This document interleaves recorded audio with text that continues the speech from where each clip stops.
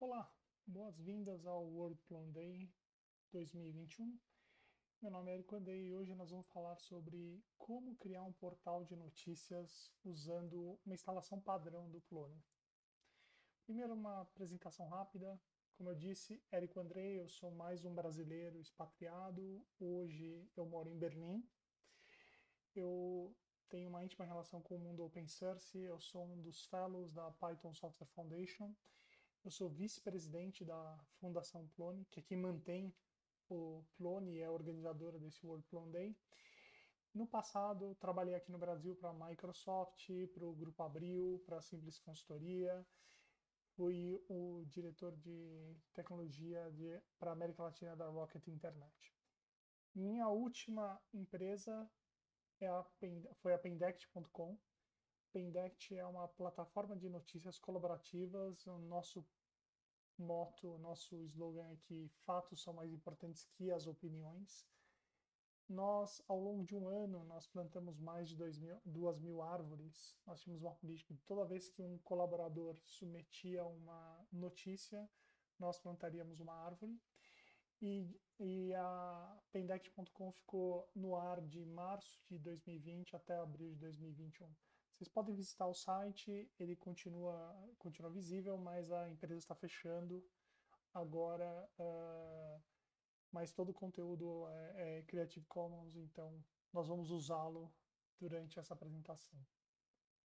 Mas antes da Pendect, eu sempre tive uma paixão por jornalismo. Era uma das minhas opções de carreira na época do vestibular. Mas, uh, mesmo não tendo sido jornalista, eu tenho um currículo mais 60 portais de notícias, passando de pequenas revistas com um editor, ou até o caso de um editor para quatro pequenos sites, até equipes de mais 100 jornalistas. Sejam revistas, jornais, marcas puramente online. Trabalhei com CMS desenvolvido em casa, até as soluções mais enterprise que você possa imaginar do mercado. Eu tenho um histórico de, de gestão de conteúdo e essa é uma das minhas paixões em termos de tecnologia, como organizar e como distribuir conteúdo. Então, vou falar um pouco dos requisitos para você montar um portal de notícia. O objetivo dessa apresentação é mostrar como o Plone, uma instalação padrão do Plone, você consegue montar um portal de notícias e esse portal, ele obviamente ele pode crescer, você pode colocar mais desenvolvimento em cima, customizar um pouco e ele fica, ele fica parecido com os grandes portais. Primeira coisa, o conteúdo é o mais importante. Tá? Querendo ou não, quando nós falamos de portal de notícia, nós falamos de notícia, nós falamos do conteúdo. Então, tecnologia e a, e a aparência, eles são um apoio para esse conteúdo. Eu tenho uma, uma, uma brincadeira que eu costumo dizer que informação estruturada acaba vivendo para sempre e o Vivendo para Sempre vai para o archive.org, que é o site onde você tem a Wayback Machine, que é, você pode ir lá, colocar uma URL e falar mostra como era esse site em dezembro de 2015. Uh, ah, um ponto importante com relação ao conteúdo é que rastreabilidade é importante. Quem modificou, quando modificou.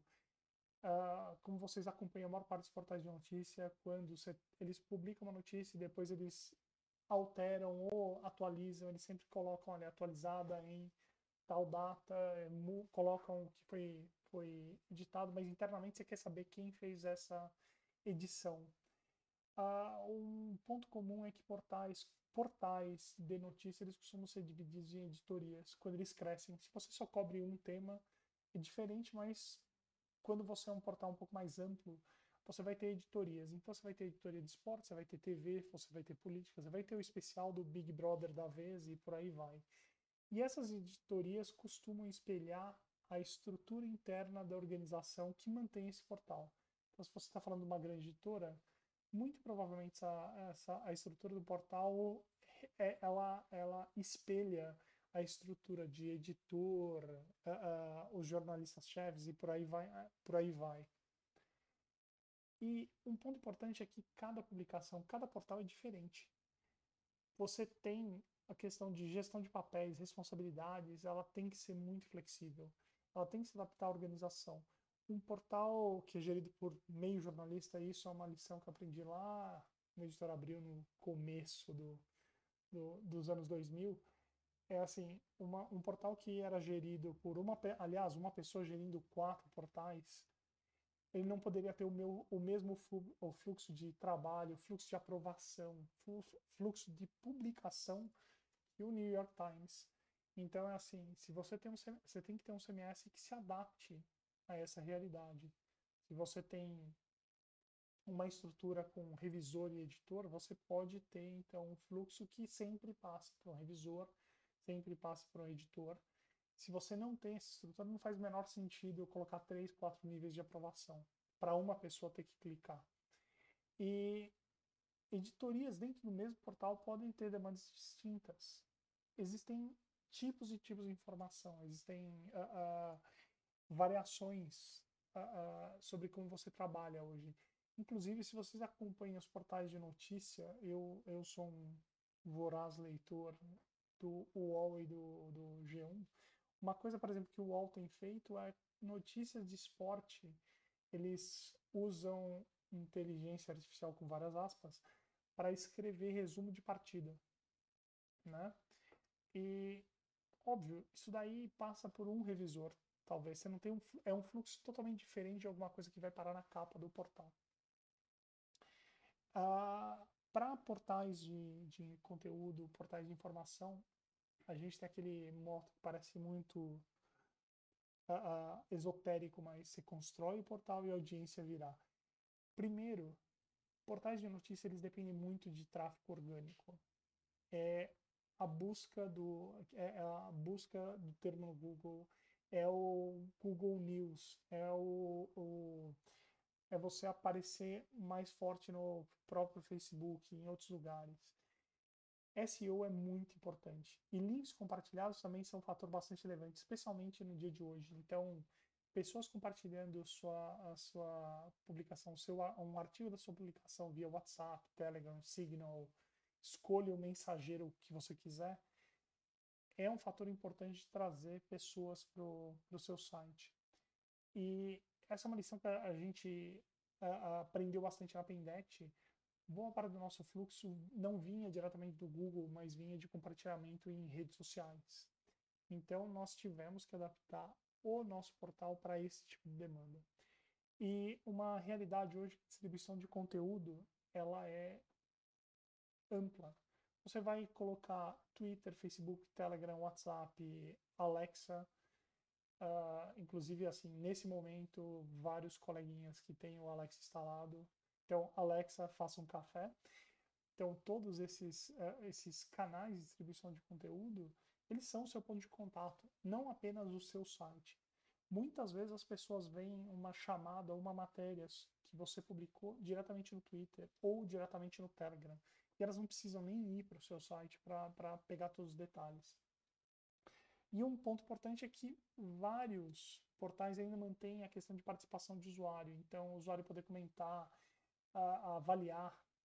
Isso varia de portal para varia de portal para portal e a qualidade também varia de portal para portal, mas você tendo essa participação do, do, dos, dos, leitores, você ganha um pouco mais de, de interação, um pouco mais de audiência. E por que, que você escolheria o Plone e não outra solução? Primeiro, Plone é um sistema de gestão de conteúdo, ele é escrito em Python, ele é o mais bem sucedido sistema de gestão de conteúdo escrito em Python. Ele parte do princípio que você vai adaptar ao invés de construir do zero. Você não precisa de 25 plugins diferentes para ter o mínimo de funcionalidade. Você tem a, a, a questão de, de ele tem um histórico de segurança interessante com permissionamento, que é uma característica que é importante para quem trabalha com gestão de conteúdo.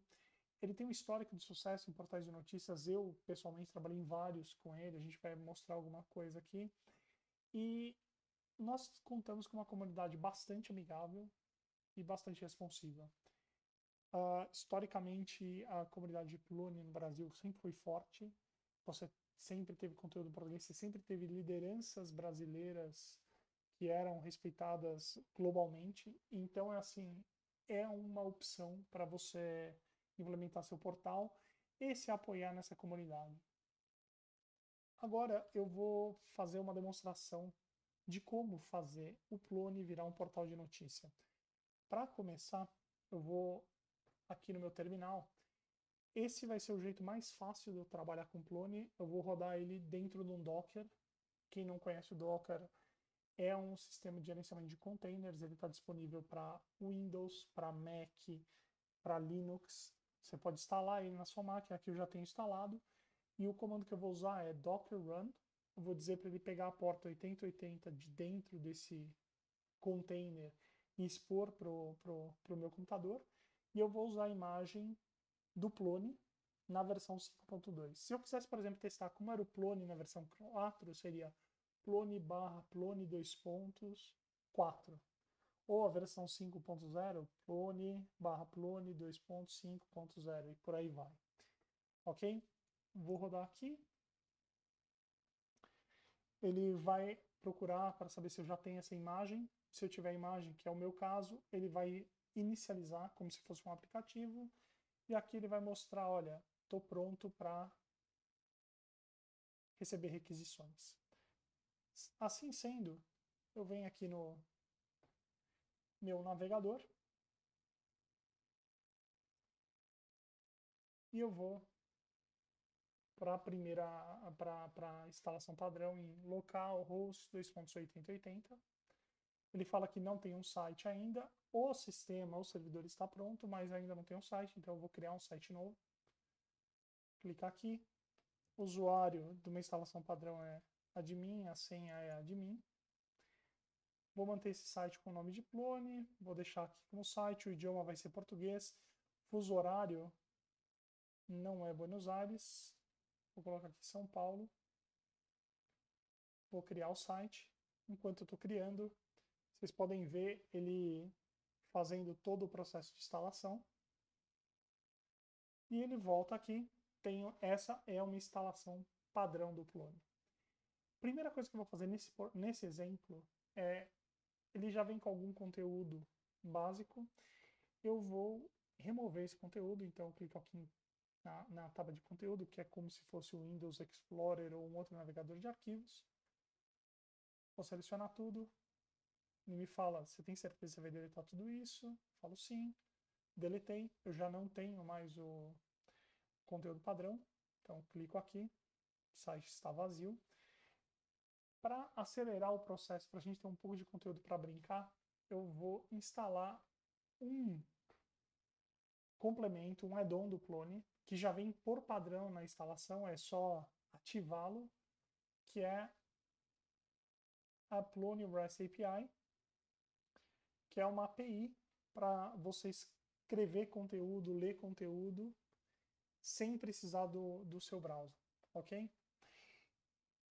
Feito isso, voltamos aqui para o terminal. Eu tenho uma outra aba, eu tenho um script chamado populate plone, que ele vai ler uma série de, de um arquivo JSON e vai colocar as notícias para mim dentro do Plone. E aqui ele está começando a criar, ele está criando uma estrutura de árvore para o meu conteúdo. Vamos voltar aqui no, no, no navegador.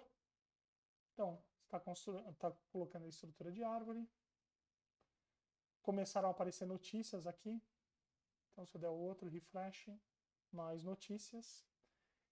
Vou clicar nessa primeira notícia. Enquanto isso, ele tá, o script está rodando aqui. Eu volto. Eu vou olhar essa primeira notícia que diz que essas notícias vieram do site pendect.com. Essa especificamente foi escrita pelo Ryan, que era um colaborador do nosso site. E aqui tem o Érico Andrei, que ajudou a editar essa, essa notícia. Aqui ele diz que a Finlândia ganhou a medalha de ouro do, do Relatório Mundial de Felicidade, de novo em 2021. Você vê que as outras notícias elas têm imagens. Eu gostaria de colocar uma imagem aqui. Então eu vou editar esse conteúdo. Clico em edição. Vou chegar aqui em imagem. Procurar. Imagens. Vou pegar essa imagem aqui colocar exemplo de felicidade. salvar, teremos uma imagem nova. Daqui é um colega nosso da comunidade Clone, o Miko, na Finlândia, colhendo algumas amoras.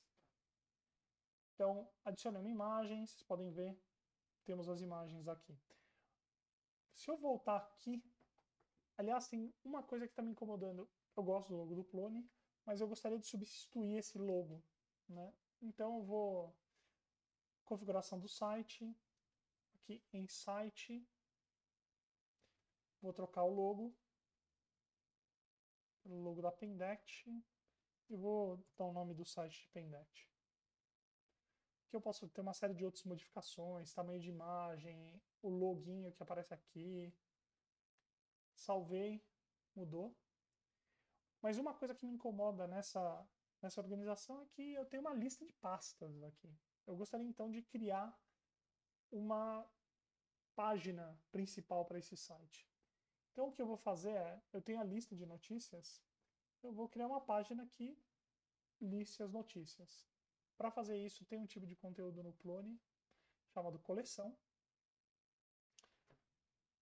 Eu vou dizer que essa é a capa da Pendect. A coleção é uma busca pré-programada, onde eu vou dizer, olha, o tipo de conteúdo vai ser notícia. Eu vou pedir para ele ordenar pela data de efetivação, que é quando essa notícia foi publicada, só que na ordem invertida.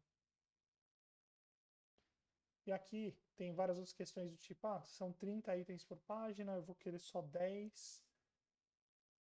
E eu vou salvar. E agora eu tenho uma listagem. Só que essa não é a página principal ainda. E eu vou adicionar aqui uma outra aba, acessando esse mesmo site, só que por uma outra URL. Está aqui, mesmo conteúdo, só que não mudou nada, eu continuo com a mesma visão. O que eu vou fazer então primeiro é publicar isso. Para que eu publico, eu posso vir aqui e colocar, pegar esse capa da Pendect, colocar aqui, Ops. Tá aqui a listagem, só que eu quero que ela seja a primeira. Quando eu clicar em página inicial, ela mostra aquela listagem de conteúdo. Para fazer isso é relativamente simples. Eu clico aqui em Pendect, eu estou na raiz do site, eu venho em exibição, seleciono um item como visão padrão, seleciono capa da Pendect, é o único item possível, salvo e vou lá, agora a página inicial mostra a capa da Pendect. Então, clico aqui, mostra. E eu poderia mudar, apesar de, de desses conteúdos, ah, mostram todas as imagens, eu vou fazer uma pequena modificação. Eu vou dizer que a exibição da capa da Pendect, eu quero que ele mostre todo o conteúdo. Então fica um, uma tripa com todas as notícias. Ok? Feito. Agora tem uma visão padrão. Uma das coisas que seria interessante, e eu falei sobre isso, é a questão de permitir que outros usuários, por exemplo, interajam no seu site. Aqui, na instalação padrão, você pode acessar clica aqui, ele vai te perguntar login e senha. Se você quiser permitir que as pessoas criem uma conta no, no, no, na sua instância de Plone, por padrão você pode vir aqui na configuração do site, em segurança, e aqui você tem a opção de ativar o autorregistro. Agora, muita atenção eu vou fazer uma coisa que você não faz em, em ambientes de produção, que é permitir aos usuários a definição da própria senha. Se eu não clicar nisso daqui e eu salvar, a hora que um usuário, ops, a hora que o usuário vier aqui, ele vai poder regi se registrar, ele vai falar, olha, você precisa ter um servidor de e-mail configurado. Eu não quero ter que configurar um servidor de e-mail agora, então eu vou dizer o seguinte, permita aos usuários a definição da própria senha. Permitindo, salvei, venho aqui de novo, registrar, posso criar um usuário. Então, ericof.plone.org, usuário ericof, ericof como senha também, muito difícil. Cliquei, estou autenticado no site. Imagine que eu quisesse comentar nessa notícia. O Plone possui um mecanismo de comentários que é desabilitado por padrão, mas eu vou mostrar agora como a gente faz. Eu venho aqui em configuração do site, discussão, configuração de discussão, eu quero ativar os comentários, posso permitir comentários anônimos, não vai ser o caso. Eu vou adicionar, ativar aqui moderação de, de comentários e vou salvar. A hora que eu fiz isso, eu posso chegar em qualquer notícia, por exemplo, nessa daqui, edição, e nas configurações dizer permitir comentários nessa notícia? Sim. Mas isso é muito trabalhoso. Imagina que para cada notícia eu tenho que ir lá e selecionar. Não faz sentido. Então, existe uma forma de você ativar isso para todas as notícias do site. Você vem em configurações de conteúdo, seleciona notícia, permitir comentários, salvar. Ok? Voltamos aqui, vou na outra aba, se eu der um refresh, agora eu já, por estar autenticado, por estar logado, ele permite que eu este finlandês. Como um bom comentário de portal de notícia, ele é extremamente irrelevante. Então eu vou clicar aqui em comentar e ele me avisa que comentário está pendente aguardando a aprovação de um moderador. Então, posso voltar como moderador. Eu tenho opção de moderar comentários. Tenho o autor, a data, qual o item de conteúdo. Olha, tá, está aprovado. Volto novamente como esse outro usuário, se der um refresh, tá aqui. Mas olha só, ele está mostrando esse avatar feinho. Eu queria colocar uma foto. Então eu venho em preferências, minhas preferências pessoais, retrato, Vou colocar esse cara bonitão aqui, salvar. Então, se eu voltar para olhar, agora tem a foto do usuário. Óbvio que existem outros complementos, outros add-ons que permitem você fazer isso de N formas integrar com N outros sistemas. Eu, por exemplo, eu, eu uso esse sistema de comentários do Plone normalmente em intranets. Quando eu preciso colocar isso no site público, eu vou usar uma ferramenta específica. Vou usar, por exemplo, Discuss.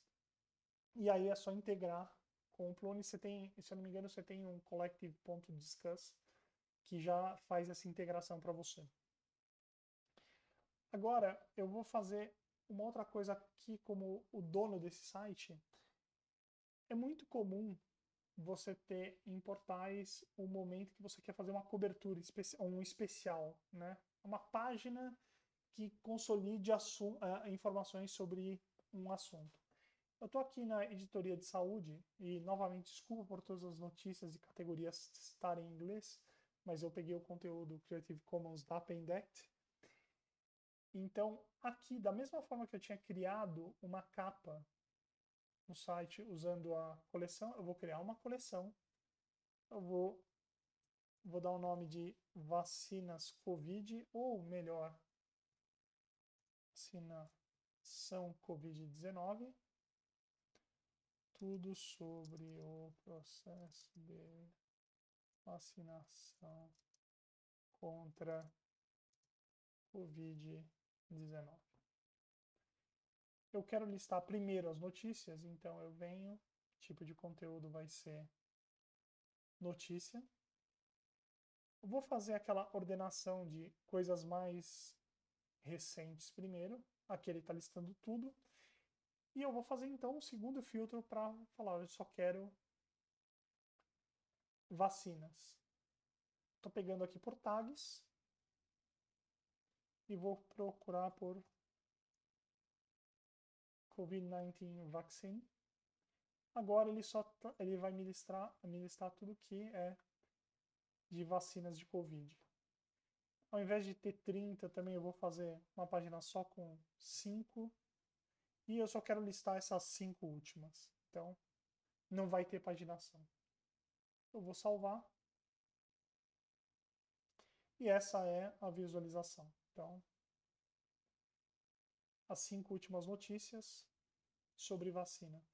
Aqui eu posso ocultar essa barra na esquerda, que são os portlets, posso ocultar a barra da direita, que são outros portlets. É razoavelmente simples, só para mostrar o exemplo. Gerenciar portlets, coluna da direita, eu venho e digo que eu vou bloquear os portlets para esse, esse conteúdo. Os portlets daqui somem, então eu chego nessa, nesse, nesse conteúdo e falo, aqui não vai ter nada na, na coluna da direita. Mas eu gostaria também de colocar uma imagem nessa, nesse item de vacinação. Aliás, uma coisa, nesse momento, se eu pegasse essa URL aqui, voltasse para o usuário Érico, clicasse e falar, olha, privilégios insuficientes, porque ainda está privado. Então eu posso publicar esse conteúdo. Na hora que eu publiquei, posso voltar aqui e vou lá. O usuário também tem acesso a essa informação. E aqui você pode ver, ó, página inicial, saúde, vacinação Covid. Ok? Mas eu quero colocar uma imagem. Então, para colocar uma imagem aqui, eu vou editar. Vou pegar aqui no meio do texto. Vou adicionar uma imagem. Não tenho nenhuma imagem ainda, então eu vou fazer o upload. Procurar aqui, imagens, pegar essa imagem de vacinas, colocar vacinas. Vou inserir. Colocou a imagem, não gostei muito, então eu posso mudar o tamanho da imagem. Falar, olha, eu quero 400 por 400. Eu vou colocar como texto alternativo ilustração sobre vacinas. Salvar. Tá aqui, eu posso centralizar hora que eu salvo, tá aqui. Só que assim, vocês podem ver que ela apareceu aqui, se eu der um refresh, apareceu aqui também. Só que aconteceu um efeito colateral. Olha onde veio parar esse arquivo de vacina, da, da, das imagens de vacina. Ele ficou jogado no meio da, da editoria de saúde. Isso não é um uso ideal. Então, se eu, só para comprovar, posso pegar esse mesmo, conteúdo aqui. Tá aqui. Tá aqui, ó. Se vocês olharem na URL. Saúde, vacina. Só que isso não é o ideal. Porque, imagina, se todo mundo subir imagem em qualquer lugar, isso é uma pessoa com um pouco de toque falando, eu, eu diria que não vai ser bom, porque você pode subir a mesma imagem em vários lugares. Então, o que acaba acontecendo muitas vezes é que você cria um banco de imagens. Nessa instalação eu já fiz isso, eu já criei uma pasta chamada Images, e o que eu vou fazer agora é, eu vou pegar essa imagem, como se estivesse no, no, no meu computador, no meu desktop, eu vou recortar, vou lá na raiz do clone, pendect, conteúdo, que eu tenho image bank, que é barra images, E aqui eu posso, ações, colar. Colei, a imagem veio parar aqui. Mas agora eu tenho uma dúvida. O que aconteceu com aquela coleção? Se eu vier aqui, será que a imagem que estava aqui sumiu? Não. A imagem continua aparecendo aqui. Mas imagina que alguém tivesse aquela imagem aberta, a hora que eu copiei ela do, da pasta de saúde para dentro do banco de imagens, o que acontece? Porque ela estava aqui, ó, em clone barra health barra cov vac 15 blá blá blá. Se eu clicar, clone automaticamente cria um redirecionamento para a nova posição. Isso vale não só para essa imagem, mas se eu copiar, renomear uma editoria inteira, todos os links antigos são redirecionados para os links novos. Isso também é muito importante em termos de SEO. Você não perde a, a, a, sua estrutura de navegação. Então, permite você corrigir ou mudar coisas de lugar sem quebrar toda a sua, a sua navegação. Mas ok, eu aprendi minha lição. Eu gostaria que agora ninguém mais subisse uma imagem fora do banco de imagens. Como eu posso fazer isso? O Plone oferece já uma funcionalidade. Eu venho aqui em configurações do site.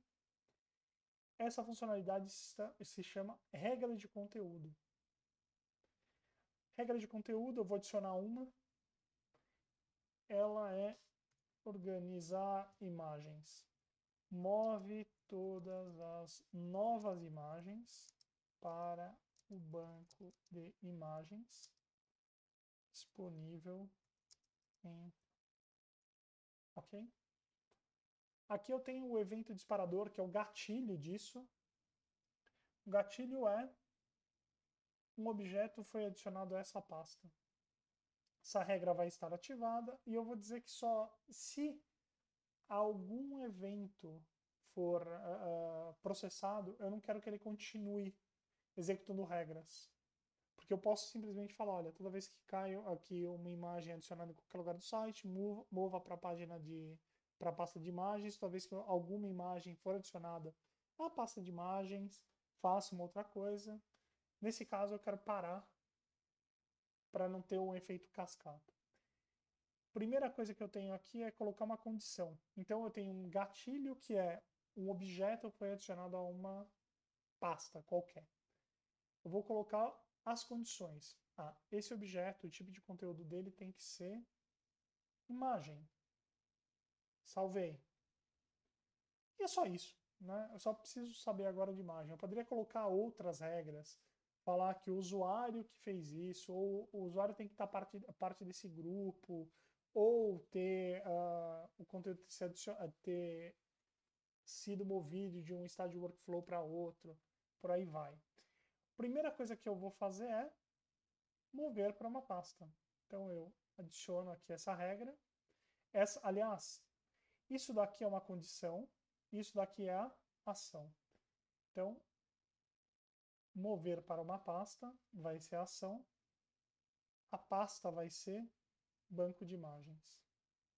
Eu vou salvar.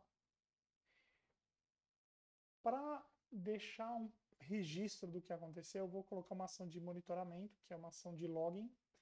Adiciono aqui. Ele vai logar no, no, no log do clone vou dizer que a imagem, eu coloco aqui o e-comercial C,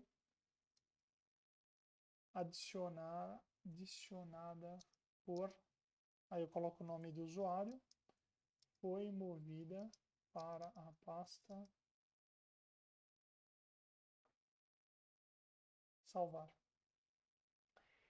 Essa é uma regra de conteúdo. Agora, eu tenho que aplicar essa regra em algum lugar. Por conveniência, o plugin já te oferece aqui, ele fala, essa regra não está atribuída a nenhum local. Você quer aplicar a todo o site? Ou seja, se você adicionar uma imagem na raiz do site ou na pasta de saúde, ela vai, essa regra vai estar funcionando. Você vem aqui e fala aplicar em todo o site. Ou eu posso simplesmente colocar uma regra que se aplique só uma pasta específica, uma subpasta específica. Então, temos a regra, vamos testá-la. eu vou adicionar uma imagem. Aqui, ó, estou na raiz do site. Vou adicionar uma imagem. Vou procurar uma imagem aqui. Estou numa fase de, de adorar basquete, como vocês podem ver. Esse é o time de basquete de Berlim. E esse daqui foi um jogador croata que é irmão do técnico da seleção de basquete do Brasil hoje, que faleceu há, há alguns quase 30 anos. É isso? É. Vou colocar a foto dele aqui. Essa foto do Drazen Petrovic veio para onde? Implone barra images barra Drazen. E se eu vier agora para o terminal, então vamos olhar aqui no terminal, vocês podem ver a mensagem, a imagem clone barra Drazen né, adicionada por admin foi movida para a pasta imagens. Ou seja, a regra de conteúdo funciona. Então, se eu quiser adicionar uma segunda imagem aqui na pasta de esportes, vier adicionar uma imagem, de novo, continua na minha fase de curto basquete, então trazem só que dessa vez eu vou colocar na NBA. Outra ele também estava, mas clico, também moveu. Então, a regra ela, ela faz a, a lição de casa para você. Ela mantém seu conteúdo organizado. Existem outros vários exemplos de regra de conteúdo, do tipo, olha, eu publiquei uma notícia, cria uma estrutura de pastas ano, mês, dia, ou ano, para organizar, ou mova conforme a, a, a, as tags que foram adicionadas e por aí vai. Por aí vai. Mais uma funcionalidade que a gente tem no clone é a questão de você uh, uh, e mudando um pouco agora pensando até mais na, na, na, questão de uma equipe, eu posso dizer o seguinte, olha, vem aqui em jogos, tecnologia jogos, você vai ver que o Érico já criou uma uma notícia aqui de Epic Games teases Fortnite appearance by Brazilian soccer star Neymar. Olha que bonitinho daqui é matéria escrita para alegar a seu próprio filho. Então vamos, vamos escrever aqui. Vamos pensar da seguinte forma: o Érico parece entender de, de, de jogos. O Érico é a pessoa que tem uma conta aqui. Né? Lembrando, Érico Andrei. Então o que eu vou dizer é que o Érico vai fazer parte do time. Então existe a possibilidade, eu estou na pasta de jogos, technology, uh, uh, jo tecnologia jogos, clico aqui, vou procurar por Érico, eu vou dizer que o Érico pode adicionar conteúdos nessa pasta. Se ele vier, antes de apertar o botão lá, se eu vier aqui, o Érico tem essas opções, que ele pode visualizar o conteúdo. Se eu clicar aqui, vou salvar se eu der um refresh, agora ele ganhou o adicionar. Só que nesse momento ele pode adicionar tudo. De novo, para quem tem um pouco de, de, de toque, isso não é o ideal, então eu vou mudar aqui, ó. Adicionar itens, de novo naquela mesma pasta, eu venho em restrições, eu vou selecionar manualmente, e eu vou dizer que o único tipo permitido aqui é notícia. Então eu salvo, na hora que eu dar um refresh, o Eric só pode adicionar notícia. O Eric vai então vai adicionar uma notícia. Aqui, ó, de novo estou rodando como Érico. Ele vai adicionar notícia nova versão do Minecraft disponível. Mojang lança nova versão do Minecraft.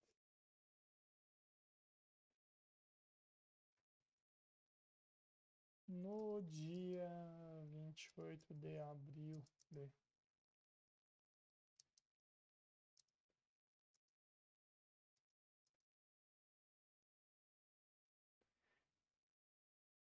Esse usuário, inclusive, pode colocar aqui uma imagem.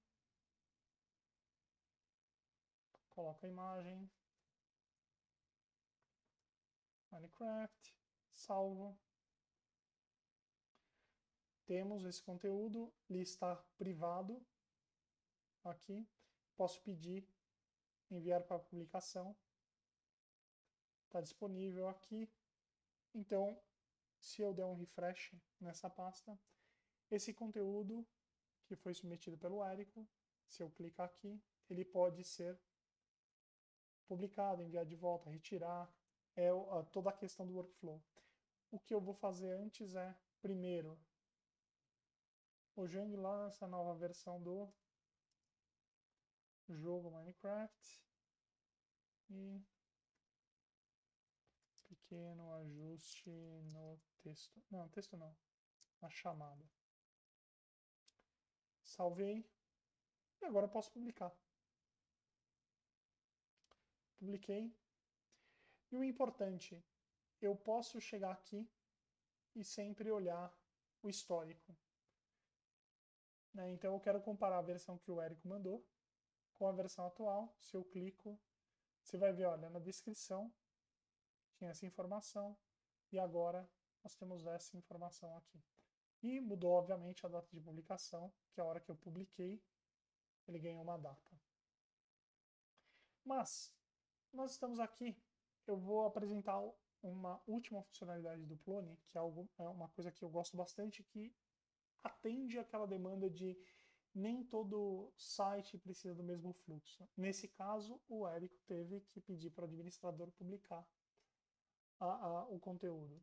Imagine que, olha, o Érico entende do que ele está falando de jogos. É o caso. Mentira. Mas, então o Érico pode escrever ele mesmo e não precisa de uma autorização. Então, o que a gente vai fazer... E assim, uh, uh, eu poderia dar o poder para o Érico digitar o conteúdo, aí ele, em vez de submeter, ele publica. Só que são dois cliques. Tem um jeito mais fácil de fazer isso. Eu venho aqui, configuração do site, tem um outro complemento que vem por padrão no Plone, que é suporte a políticas locais de workflow. É um dos meus complementos favoritos. Instalei já. E agora eu volto aqui para tecnologia jogos o que esse suplemento faz? Ele me permite mudar o fluxo de trabalho, mudar o workflow para uma área específica do site. Então eu venho aqui, vou adicionar uma política local, vou adicionar uma configuração. Aqui eu tenho dois níveis de configuração, um é para o conteúdo mesmo, ou seja, para a pasta games. Mas assim, a pasta games é algo que eu não quero que o Érico mexa. Eu quero que ele mexa nas coisas que estão para baixo, os conteúdos para baixo. Então, abaixo dessa pasta, tudo que está contido nessa pasta, agora vai ter publicação que a gente chama de um estado. Ou seja, a hora que você adiciona, salvou, está publicado. Vou salvar.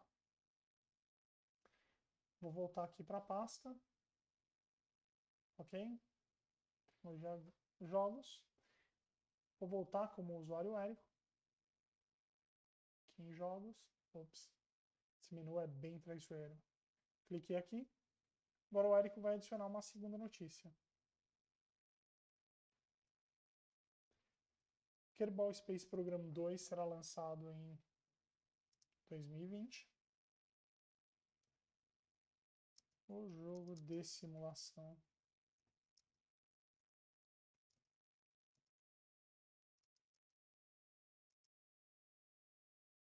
inclusive um errinho na digitação, será lançado. A piada não o Kerbal Space, uh, Space Program será lançado, parece piada sem graça, mas não era o, não era o objetivo. Será lançado em 2022. A piada, na verdade, vem que esse jogo será lançado em 2022. Viva o Jeb. Jeb é um dos personagens. Vou, obviamente, adicionar uma imagem. Tá aqui. Kerbal Space Program.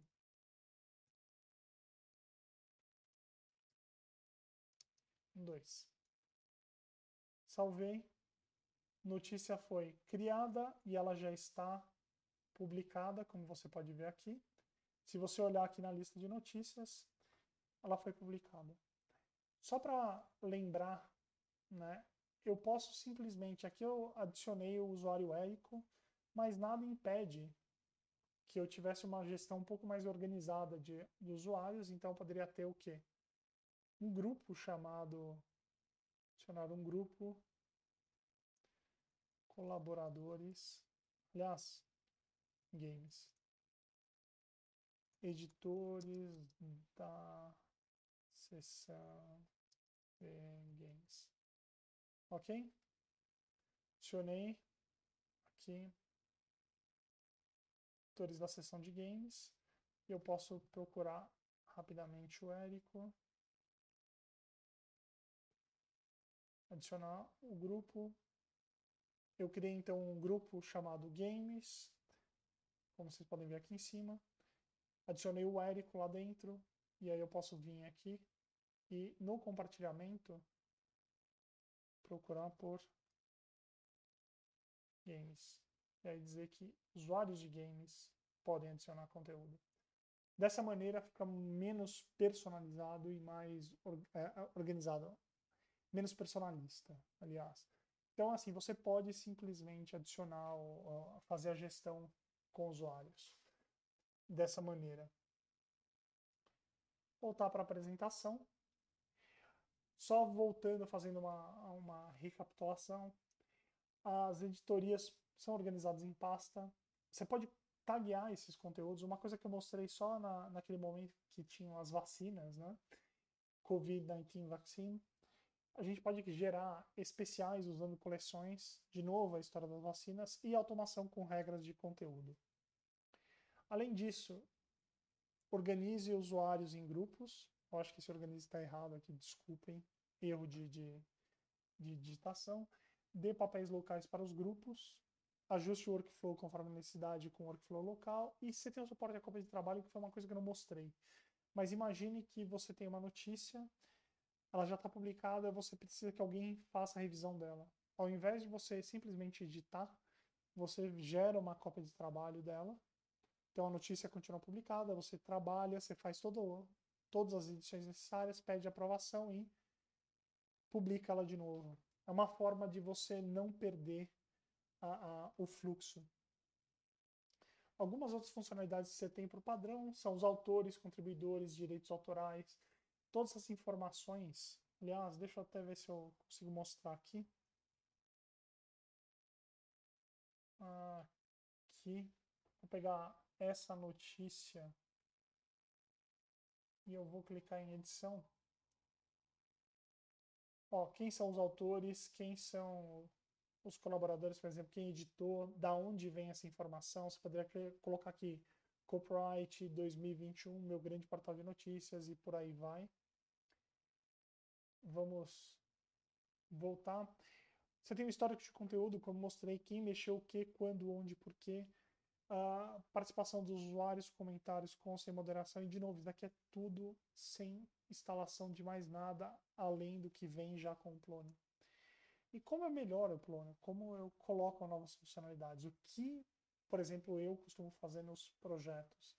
Primeira coisa é assim, para quando você chega a um volume de conteúdo muito maior, eu trabalho com um sistema de busca, um servidor de, de, de busca chamado Elasticsearch, e aí nós temos um pacote chamado collective.elastic.clone. É um add-on que pega toda a parte de busca e indexação e move para esse servidor externo. Além disso, autenticação, uso o Pass Plugin Automatic para você autenticar os usuários contra Facebook, Git, é, Facebook GitHub, Google, uh, uma coisa super comum para intranet. Se você tem uma intranet que usa e a sua empresa usa a solução do Google, esse é um, é um plugin que resolve o seu problema, porque você pode falar, olha, eu quero autenticação contra a, a, os usuários, ou com usuários autenticando no Google para o domínio, por exemplo, pendex.com. Gestão de capas, fazer capas com blocos, uma, são coisas mais bonitas. Você vai ter Mosaic e você tem o Collective Cover, Collective Cover que é usado no Brasil Gov, no GovBR e em vários outros sites. Regras de conteúdo, eu pessoalmente eu tenho uma que eu adoro, que é o Content Rules Slack. Se vocês conhecem Slack, aquela ferramenta de comunicação interna, a gente usava muito isso na Pendect, que é assim, toda vez que algum usuário novo se registrava no site, recebia uma mensagem, toda vez que alguém colocava uma notícia para ser revisada, publicava lá no, no, no Slack, por aí vai.